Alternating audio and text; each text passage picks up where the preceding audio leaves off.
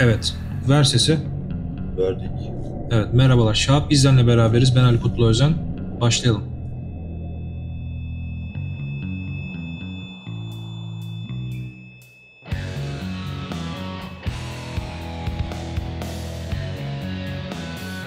Şimdi ne hakkında konuşacağız biliyor musun abi?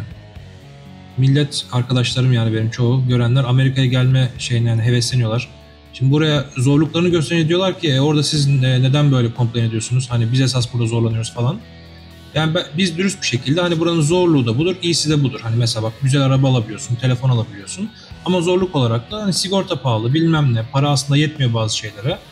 Yani bazı şeyleri yolluca bunlardan bahsedince hani böyle dengeli bir şey yaratmaya çalışıyoruz. Şimdi senin ben görüşlerini alacağım bu konuda. Sen hani çocuk babası bir daha olgun bir bireysin.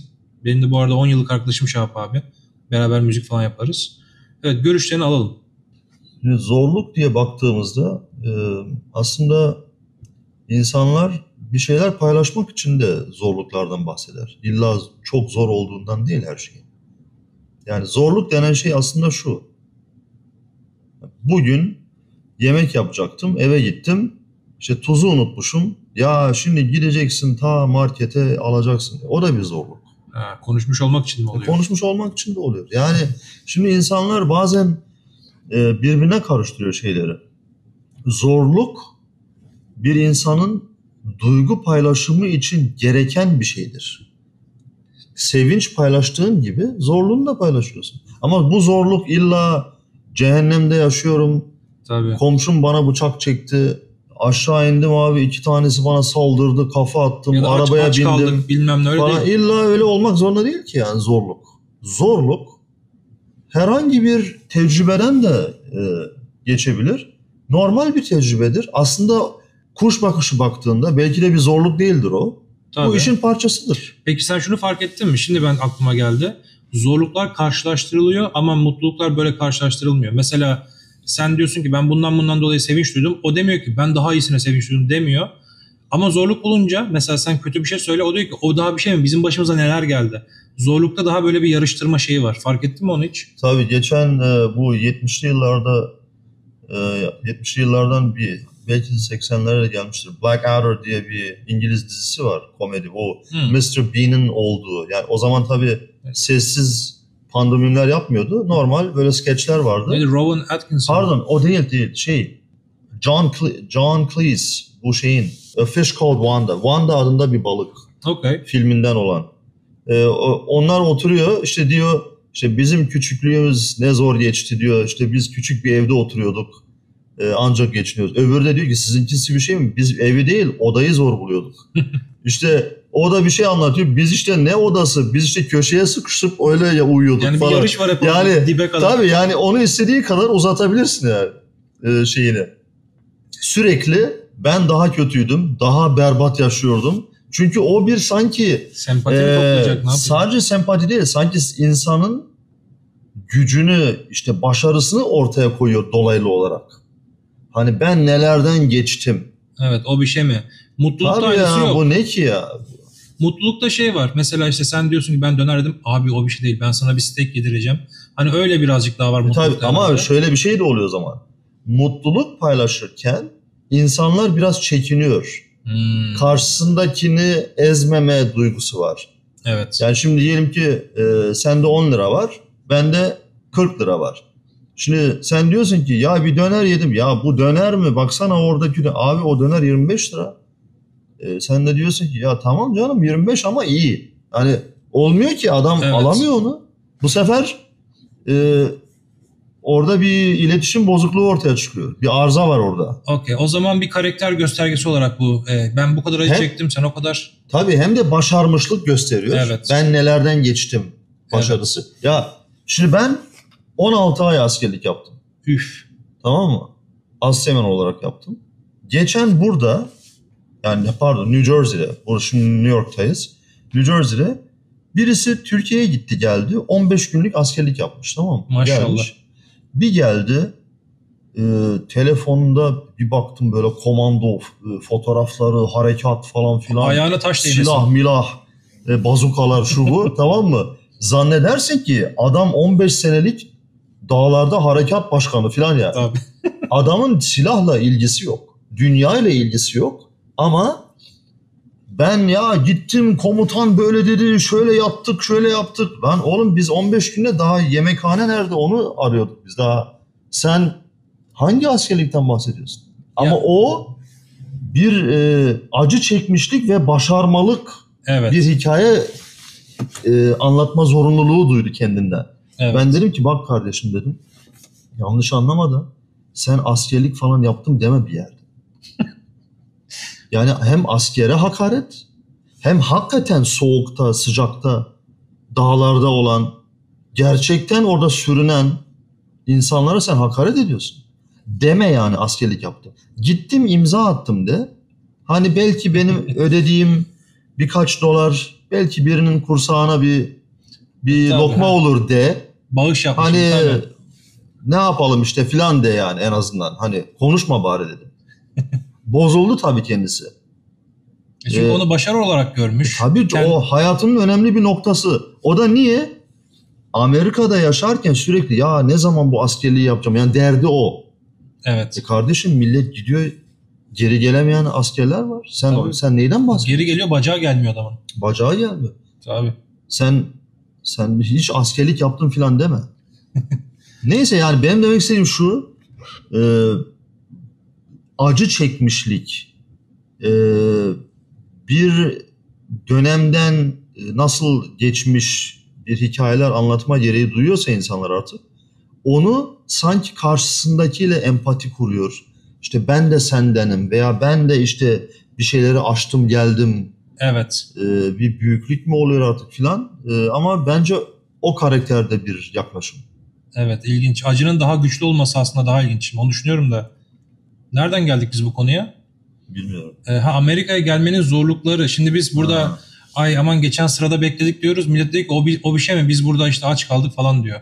O karşılaştırmalardan bahsettik. E tabii şimdi aslında yersiz karşılaştırmalar. Çünkü insan sadece kendi yaşadığı, o deminki asker örneği gibi, Tabii. kendi yaşadığı dünyayı ölçü alabiliyor. Tabii. Şimdi benim dünyama göre bu bir zorluk. Neden? Diyelim ki e, çünkü bunu beklemiyordum. Ben normal gidip markete işte bir şişe ketçap alıp sıraya girip hemen ödeyip çıkacağımı zannettim. örneğin. Evet. Ama meğer önümde işte 20 kişi var. Dünyan yıkıldı. E, dünyam yıkıldı. Niye? İşte ne bileyim eve gidince işte dizimi izleyecektim, şunu yapacaktım, yapamadım falan filan. Bunu bir zorluk gibi anlatıyorum. Halbuki hiçbir konu yok. Yani kuş bakışı baktın mı Yok. Hiçbir şey bu değil. hikayeden bahsedilmemesi bile gerekiyor. Öyle bir şeyi sil. Sorulduğu için anlatılır canım. Ama Tabii. şimdi Amerika zorluğu da yani Amerika mı yurt dışı herhalde zorluk zorluk canım. Bak dediğim gibi burada eğitim ne kadar pahalı değil mi? Ama hedefin ne olduğuna bağlı. Nasıl Zorluk yani? ne? Şimdi eğitim pahalı diyorsun. Buraya Türkiye'den babasından yarım milyon, bir milyon dolar hesapla gelenler de var. Onlara zor değil o. Ama o da diyor zorluk çektim.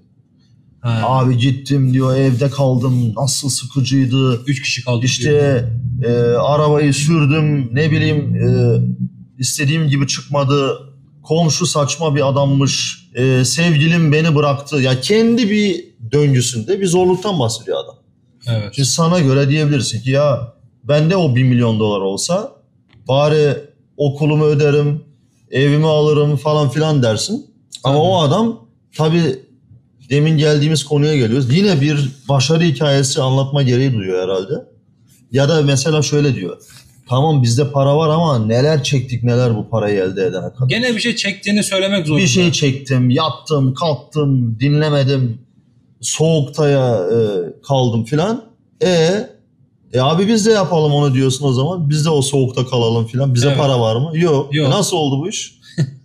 Olmuyor demek ki onunla. Yok olmuyor öyle. Ya şimdi Evet. ben yani genç izleyicime söylüyorum. Hani zorluk genelde parasal şeyden geliyor. İkinci yalnızlıktan geliyor. Yani sen mesela burada ailenden uzak yaşıyorsun kaç yıldır. Biz de öyle. Hani çok şükür gene sen ben varsın. Eş dost bir teyze meyze bir şey var da. Öyle bir zorluk var. Bir süre sonra da hayat ilerleyince şey fark ediyorsun. Yani böyle mi gidecek hep? Ben hani annemle babam ayrı mı kalacağım bunlardan? Çünkü insanlar yaşlanıyorlar. Yani bir de şu var tabii. Şimdi bizim kültürümüzde bunun edebiyatı çok geniş. Bu zorluk çekmenin.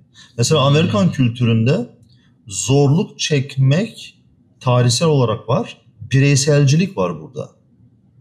Hani Nasıl yani? birey gelir, çalışır, 12 saat, 15 saat kirasını öder. Ondan sonra işte çalışır çalışır oranın menajeri olur. Ondan sonra aynı zamanda e, yan bir iş bulur. 2-3 kuruş yani öyle bir hikayeler vardır. Yüzyılın başından yani daha doğrusu 20. yüzyılın başından İş falan ödüldür. Tabii. iştir falan. Çünkü o zamanlar ekonomi hızla geliştiği için zamanında ve mesela şeyde de öyledir bu. E, 50'li 60'lı yıllarda 2. Dünya Savaşı sonrasında Evet. e, bütün dünyanın ihracatı Amerika'dan yapılıyordu. Çünkü Avrupa yerle bir, Japonya yerle bir. Çin zaten gelişmemişti. Kore de aynı keza. Evet. E, o zaman hep iş vardı Amerika'da 50'li 60'lı yıllarda. E, çalış çalış çalış para biriktir. Zamanında öyle bir dönem vardı burada. Yani biz ne çektik diye ağlayacak bir vakti olmadı bu adamların. Tabii ama her çektiklerinin bir karşılığı vardı. Evet. Yani hemen hemen diyelim en azından. Tabii canım ev alıyordu, araba alıyordu, Evet. yaşıyordu. Evet yaşıyordu. Yani alınabilecek veya varılacak noktaları zengin olmasa da Tabii. e, diyelim ki norm başka bir ülkede 10 yılda elde edeceğini burada 2 yılda elde edebiliyordu. Bu bahsettiği şey İnsan. Amerikan rüyası mı bu arada? Çalış, İşte ona kazan. rüya deniyordu. Çünkü aslında rüya neydi o şeye göre? Bana göre daha. Yani e, Scott Fitzgerald'ın hani bu e, The Great Gatsby'nin yazarı. Hı hı. O, onun bir lafı var. E, der ki The American Dream is the sun that never rose. Hiç öyle bir şey olmadı mı yani? Yani hiç yükselmeyen bir güneş. Yani hep bekliyor herkes. O bir gün o Amerikan rüyasını göreceğiz. Bir türlü yok. Aslında ama biraz incelediğinde Amerikan rüyası denen şeyin bana göre e, göçmenlerle ilgili bir tarafı var. Göçmen Evet. olmak gerekiyor. Yani çünkü sen zaten burada doğmuşsun, burada büyümüşsün, ailen Farkı buralı. anlayamıyorsun E ki. Yani neyin rüyası ki bu zaten? Öyle yaşıyoruz zaten. Senin gerçekliğin o zaten. Ya bana göre rüya başka ülkelerden gelenlerin rüyası. Adam geliyor, bir işe başlıyor ve kısa sürede bir araba alıyor. Kısa sürede kirasını ödüyor. Mesela bir hafta çalışıyor, kirasını ödüyordu. Evet. Buraya Bir haftada. ilk şey buraya geldi. Tabii. Tabii. Küçük bir yerde bile kalsa. Hala da var ha. Yani Tabii tabii. Yani öyle bir o zaman ne olur? Rüya gerçekleşti olur o insan için. Ama mesela şunlar için rüya olmuyor. Örneğin Türkiye'den gelen e, oldukça varlıklı insanlar var. Evet. Falanca ailelerin işte inşaatçıların çocukları falan gibi geliyorlar. Diyorlar ya burada yaşanır mı diyor mesela. Oho beğenmiyor Tabii. bile. E Tabii. niye? Çünkü İstanbul'da yaşayan bir kişi hele hele bir de geliri çok iyiyse e, milyonlarca doları varsa Buraya sürünmeye mi gelecek? bu, ya burası çöplük oraya göre. Tabii canım İstanbul'da Tabii canım. zengin olmak daha İstanbul'da Yemeğin kralların kralı gibi yaşarsın. Yani bu- İstanbul'daki alışveriş burada yok. Ona bakarsan. Bak onu İstanbul'daki hizmet, İstanbul'daki restoran, e, kulüpler, yaşam, gece hayatı, gidiyorsun takımını diktiriyorsun, gömleğini yaptırıyorsun. Oradan bir, yani Bizim lüksümüz Baş- daha lüks. tabii arada. orada baya bir yaşıyor insanlar. E burada öyle bir şey yok. Burada ortalama bir standart var. Heyecan verici bir şey değil fazla aslında baktığında. Yok. Filmler öyle gösterdi zamanında Bil- o yüzden. bilmeyen veya diyelim ki yaşamamış olan birisi için heyecan verici olabilir. Çünkü elde edilebilirliği daha yakın burada. Evet. Orada o elde edilebilirlik yok. Türkiye'de. Yani ya zenginsin topraktan, dededen, babadan, işte ne bileyim politikadan filan ya da öyle bakıyorsun işte bekliyorsun. Evet. Toparlayalım. Çok güzel bir ufak söyleşi oldu. Ee, adını Amerikan Rüyası koyacağım. Gerçekten Şahap Gizem de çok güzel Amerikan Rüyası'ndan bahsetti. Nedir ne değildir. Gelene zorluk, gidene zorluk. Evet bir podcastın daha sonuna geldik güzel insanlar. Abicim teşekkür ediyorum. Ben teşekkür ederim. Çok sağ olun. Bir dahaki podcast'te görüşmek üzere.